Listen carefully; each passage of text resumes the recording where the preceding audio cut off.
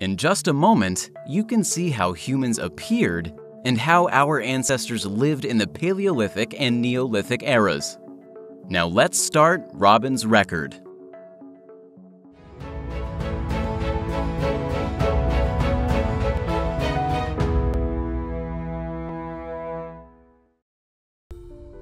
About 3.9 million years ago, the first early humans, Australopithecus, appeared in Africa. They couldn't walk completely upright, but they could walk on both feet and use simple tools. About 1.8 million years ago, as time passed, Homo erectus appeared in Europe and Asia, as well as Africa. They used fire and began communicating with one another through language. About 400,000 years ago, Homo neanderthalensis appeared mainly in Europe and in the Mediterranean. They had a similar body structure and brain capacity to modern humans. They had the custom of sutism to bury the dead, and the traces of placing flowers on tombs seems to suggest that they had religious sentiments. Homo neanderthalensis coexisted with Homo sapiens for a long time, but they went extinct around 28,000 years ago. Homo sapiens, the ancestor of modern humans, first appeared in Africa about 200,000 years ago and spread to Asia and Europe.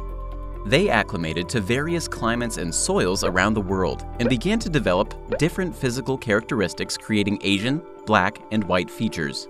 Europe's Cro-Magnons and China's upper caveman belonged to the Homo sapiens species. Homo sapiens then had cranial bones and a skeletal structure that are nearly identical to our modern ones now, and they hunted and collected using sophisticated tools. The Paleolithic era is the period from the advent of humans to about 10,000 years ago. Paleolithic humans used chip stone tools made by naturally breaking stones. Their flint tools included hand axes, scrapers, choppers, etc. They collected fruits and roots of plants with flint tools and hunted animals and fish with simple arrows and fishing tools.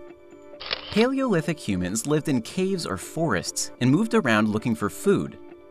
They used language, tools, fire, and so on, and it seems they knew how to communicate and cooperate with one another when hunting large animals. In the Paleolithic era, humans developed culture as they gradually evolved. Among these cultures, the Cro-Magnons wished for fertility, abundance, and success in hunting and left carved statues of voluptuous women and various cave paintings. Paleolithic humans' residences discovered in South Africa suggests that they lived in caves under the shadow of rocks or built temporary dwellings along riversides and lived in groups. Also, in the Lascaux cave paintings found in France, you can see that the concave and convex walls of the cave were used to vividly depict animals as if they were popping out. In addition, the Venus of Willendorf found in Austria suggests that they wished for fertility and abundance. At the end of the last ice age, about 10,000 years ago, the Earth's temperature began to rise. The distribution of plants changed accordingly, and small animals such as deer and wild boar, as well as fish and shellfish, thrived. Humans changed their tools to adapt to these natural changes.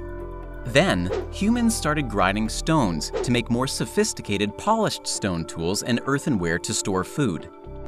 This is where the Paleolithic era ended and the Neolithic era began.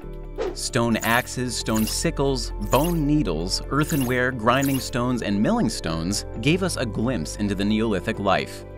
In the Neolithic era, agriculture and livestock farming began, which drastically changed human life.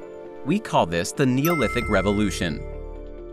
Then, Neolithic humans evolved from the hunting and gathering life stage, in which they got food as nature provided it to them, to the production stage of food, using nature intentionally. This dramatically improved productivity, and the population began to grow.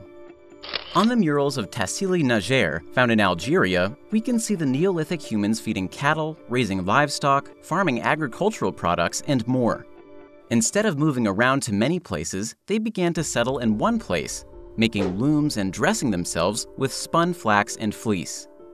On the residential ruins of Catalhuyuk found in Turkey, we can see that rectangular houses made of clay bricks are attached to one another, suggesting the formation of villages.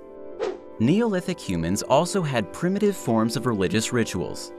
They valued natural phenomena that affect agriculture, such as the sun, wind, and rain, and performed religious rituals through animism, believing that spirits resided in water and trees or megalithic worshipping. Discovered in England, Stonehenge is a relic representing megalithic culture in the late Neolithic period and suggests that Neolithic humans performed religious rituals and astronomical observations. With the development of agriculture and livestock farming, humans gradually settled on the plains and began to live in villages. Villagers shared the same ancestors and divided their produce evenly, forming a clan society where people with the same blood lived together.